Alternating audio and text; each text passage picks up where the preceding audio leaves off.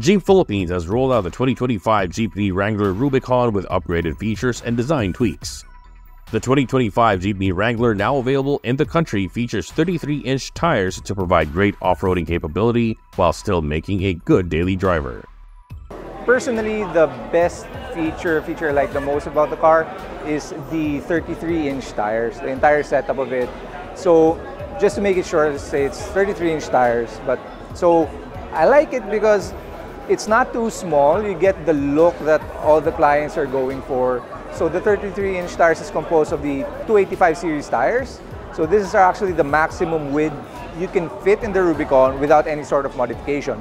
So you get that look that you want, that beefy off-road ready look that everyone wants. You get that, uh, but you don't sacrifice the getting into and getting out of the vehicle. So because other clients may go for a 35 inch tires, but that's very specific client set who would really go off-roading. If you have 35 inch tires, it would be very difficult for you to get in and out of the vehicle.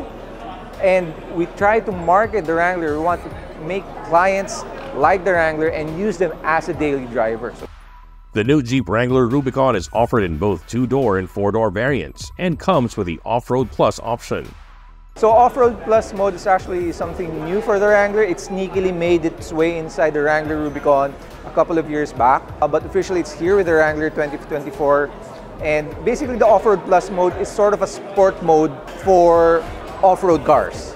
Now, when we say sports mode in other vehicles, sports mode usually change how aggressive your engine reacts, how aggressive your traction control is, your shift timing, your throttle response, your pedal response. So that's sort of, in a nutshell, what's going on with an Off-Road Plus. So depending on what mode you're in, so if you're in 4 high or if you're 4 low, the Off-Road Plus will behave differently. So usually, for example, in the 4 high setting, you actually want better throttle response from your pedal.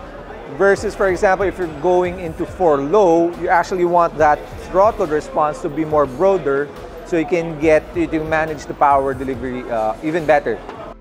The SRP for the new Jeep Wrangler Rubicon 4-door variant is 5.78 million pesos.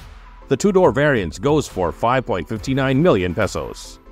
Jeep Philippines has lined up a number of activities to let more people see and learn about the new features in the 2025 Jeep Wrangler Rubicon. The new Jeep Wrangler Rubicon will be going around this September. September 19, we will be having a VIP night at Nustar Cebu September 21, we will be having a driving event at Sevilla Park in Laguna. And September 28, we will be having an off-road clinic at Porac, Pampanga.